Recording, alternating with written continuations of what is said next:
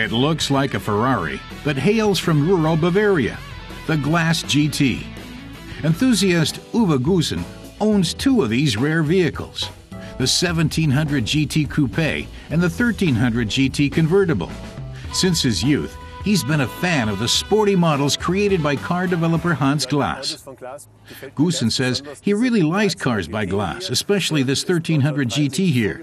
It was introduced in 1963, and Gusen says even as a young boy, he was thrilled by its great shape and high performance, and he still is today. The convertible's 1.3 liter engine produces 85 horsepower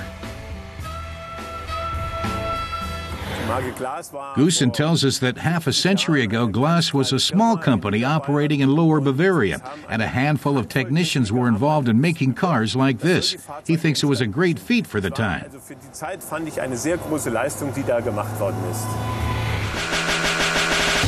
Its Italian designed, powerful engine and sporty suspension could have made the Glas GT into a bestseller, but its humble lineage put the brakes on any dreams of grandeur. Hans Glas produced farm machinery before moving on to scooters and small cars like the Goggomobil. The Glas GT could never quite shake its rural roots. Uwe Gusen tells us that the car was presented at the Frankfurt Motor Show in 1963. The body was produced in Italy by Pietro Frua and then assembled in Bavaria. He notes that the bumpers at the front had to be fitted individually, as did the doors, because the body was essentially custom made for each car. That's why the doors and the bumpers were numbered. Gusen really likes the car's lines, especially the sloping curve at the rear. He thinks it gives the car a sporty flair, and the two taillights on either side highlight its Italian style.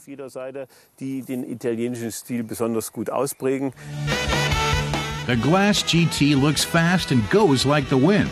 In the early 1960s, it was one of the few German made sports cars around. This Glas GT fan loves to drive the car on curvy country roads best because it's so much fun. He says the 1700 GT accelerates very well, going from 0 to 100 kilometers an hour in around 10 seconds, which was pretty good for its time.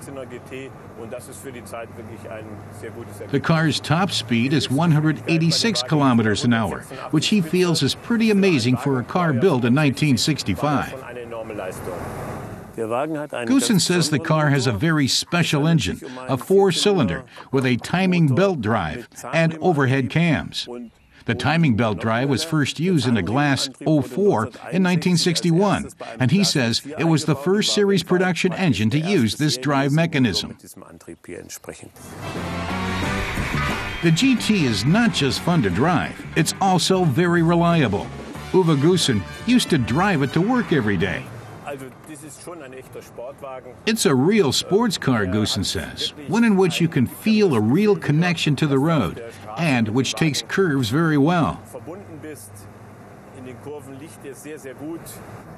The GT has a sports car engine. You need to warm it up a bit, and then it'll give you lots of pleasure er That was the GT Coupe, Gusen says, and now he shows us something really special the Glas GT 1300 convertible.